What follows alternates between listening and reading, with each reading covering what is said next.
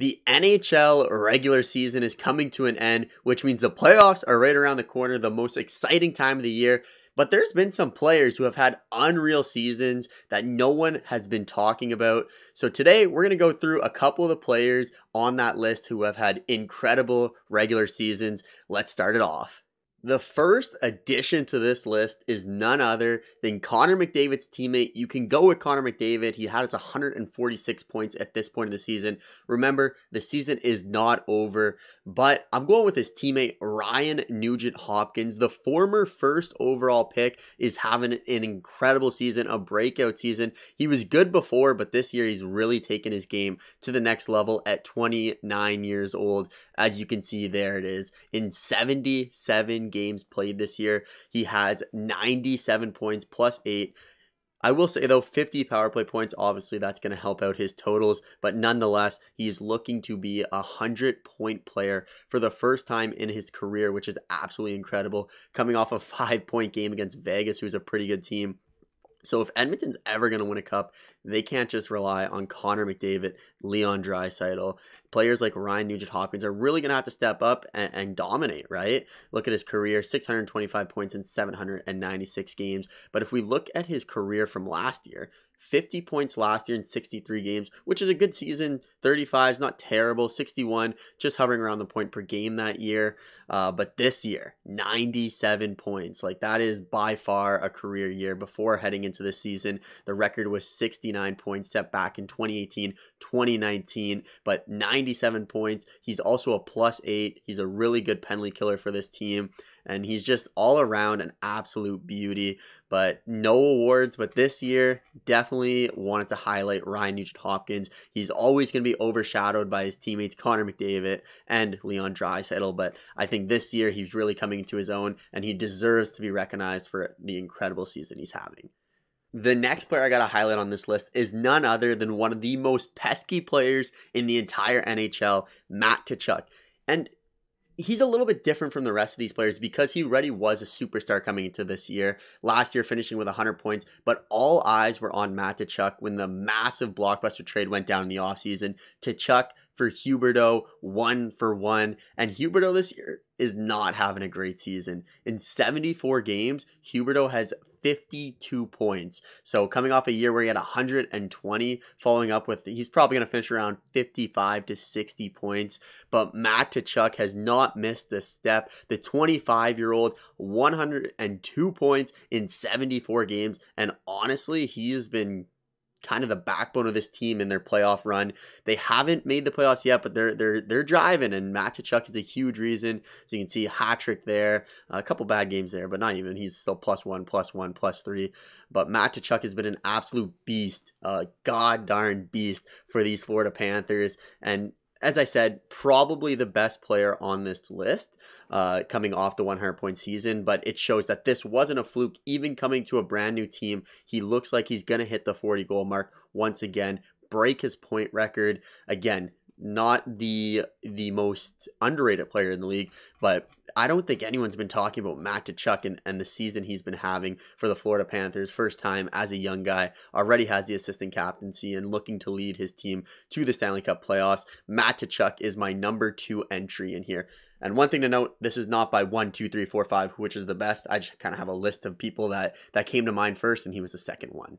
Next up on my list, I got the super Swede Elias or Elias Pettersson or Pettersson, however you want to say it. But Pettersson, Pettersson, the Beasterson has been really good for the Vancouver Canucks. Coming off a year last year where I wouldn't say he was bad, but it was subpar, below expectations. But this year he's really stepped up. The 24 year old, 96 points in 74 games. Looks like he's going to get to that 100 point mark, which is really cool for all the Vancouver fans out there. We know that this is this is the heart and soul of your offense, especially when you trade away Bo Horvat. We were wondering if Pettersson would still be producing, and as advertised, he has been really good, almost sitting at a point per game in his career now. And the big thing is, Vancouver is a team that has a losing record, is not very good, will not make the Stanley Cup playoffs this year, and he ha- is a plus 14 And the other thing is only 24 power play points. So he has the same amount of stats as Ryan Nugent Hopkins, but half the power play points, which is really good. He also plays penalty kill where he has four shorthanded goals, eight shorthanded points. So he kind of does everything for this team. He really just keeps going. But let's go take a look at his stats and you can see the jump. Last year, I said it was kind of a bad year. Really, it's a good year. 70 points essentially in 80 games, a 30 goal score. But this year, potentially going to get to 40 goals, 100 points. I mean, for a team that isn't that great, like a plus 14. He hasn't been a minus seven in his career, so obviously a pretty good defensive player as well. But we have to shout out Pettersson, even though he's not going to make the Stanley Cup playoffs. On my list, I believe I only have one other team maybe two that won't make the Stanley Cup playoffs, but obviously won the Calder Trophy back in 2018 2019. The start of his career was incredible. Just under a point per game, point per game essentially, point per game essentially, a little bit of a fall off, and then absolutely skyrocketed in year number four or five, sorry. But Elias Pettersson is number three on my list of players that have absolutely dominated this year that no one's talking about as a Sens fan, I couldn't leave an Ottawa Senator out of here, and I think this is well deserved. I've been to probably 15 Sens games this year, and this player is consistently providing nothing but an offensive spark to the team, and has been playing penalty kill this year to really shape his game into to more of a two-way game rather than just being a goal scorer. And that's going to be Tim Stützle, 21 years old, still really young, but 84 points in 73 games, having a breakout season, 171 points in 205 games played. I won't go too crazy into him, but in 2020, third round pick, our third overall pick. If you ask me, he's the best player from the draft, and I'm gonna. It might sound crazy, but I think Jake Sanderson's number two in that draft. He's probably even been better than Tim Stützle sometimes. But Tim Stützle, I mean, coming off the season, 58 points, minus 27.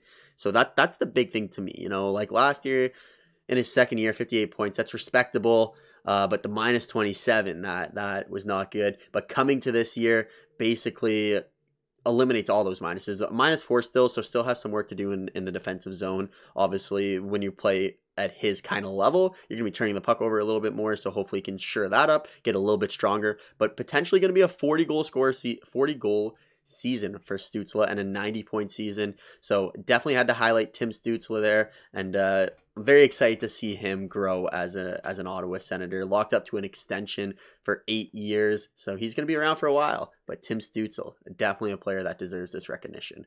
The next player I have on this list is a superstar, but honestly, until I saw his stats the other day, I did not know he was having anywhere close to this good of a season. Brayden Point is going to score 50 goals, most likely, for the first time in his career. He's got 90 points to go with it. And I think part of the reason why I haven't heard or seen anything about this is Steven Stamkos is always great. Kucherov's a point getter. Vasilevskiy's always stealing the show with his goaltending ability. And of course, you can never forget one of the best defensemen in the league, Victor Hedman. So I think Brayden Point just kind of slides under the radar, but he is having an incredible season. 90 points as mentioned, 48 goals. If we go look at his stats, like he, he's normally pretty good. Like 58 points, 48, 64, 92. This was a big year for him. 66, 40. So kind of that outside this outlier of the 92 points, he's been under a point per game. He's been a good player, but nothing special. But this year, he's really taken it to the next level with 50 goals. If he gets there, I'm, I'm hoping he does because, you know, you got to hit that 50 goal plateau, that 50 goal mark. Uh, but Brayden Point doesn't really get talked about often. And I think he's been an X factor for this team. I mean, looking at 48 goals, leading his team has more than Stamkos, more than Kucherov. Uh, so definitely a really good season from Brayden Point, and really all he has is Stanley Cups to show for it. But if you're a player in the NHL, that's all you really want. But Brayden Point, have to highlight him in here. I mentioned he's not really a bona fide superstar, but I think he is super underrated for the Tampa Bay Lightning. Next two players I have are the two defensemen who've impressed me the most this year.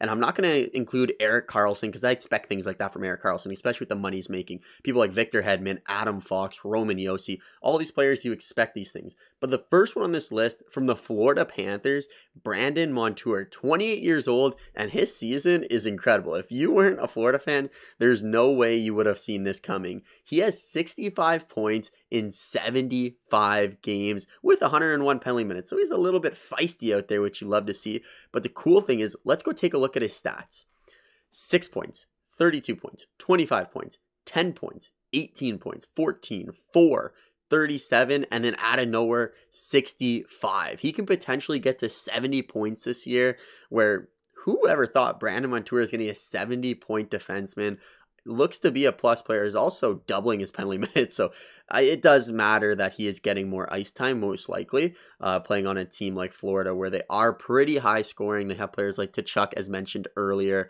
They got barkov. I mean so many good pieces on that team. Uh, he's probably playing with ekblad a lot of the time. The only thing is a minus or a plus eight it's good, but we need that more, especially if you're playing the top top uh, minutes. But Brandon Montour, honestly, been one of the most surprising players in the entire NHL for me.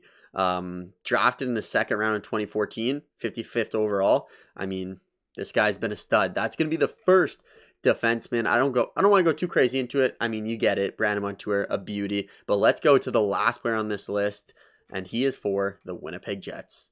Last player on this list, we have the defenseman for the Winnipeg Jets, Mr. Josh Morrissey. I see Joel is that Joel Ward? I remember he was on Washington, my brother's favorite team. That was uh, that guy was a beauty in the playoffs. But Josh Morrissey, let's talk a little bit about him. 28 years old, always known to be an offensive defenseman, but there it is. Look at those stats: 71 points in 74 games.